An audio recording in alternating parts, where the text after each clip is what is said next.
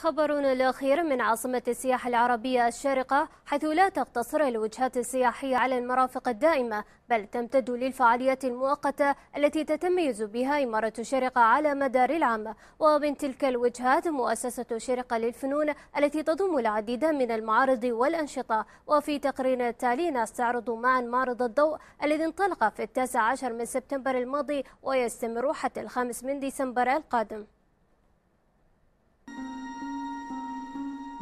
انعكاسات الضوء ومساراته سحره وخدعه البصرية. مفردات تدور في مخيلة الزائر متجولا بين أروقة معرض الضوء الذي تقدمه مؤسسة الشارقه للفنون وبتنظيم من معرض جاليري هيوارد في لندن الذي يحط رحاله للمرة الأولى في الشرق الأوسط وتحديدا دولة الإمارات.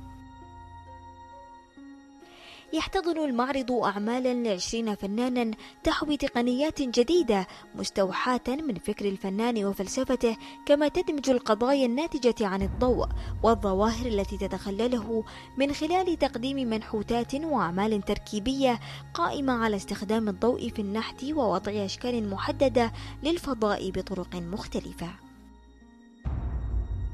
هذا ويغلب الطابع التفاعلي على معرض الضوء خلال أعماله التي تعكس أجواء خاصة ومنحوتات لا تلمس. يمكن الانتقال عبرها أو حولها تجعل الزائر يعيش تجربة تأملية فريدة مع الضوء بجميع أشكاله المكانية والحسية وغيرها من الأعمال التركيبية الفنية التي تكشف جوانب مختلفة من الضوء كاللون والمدة والإسقاط.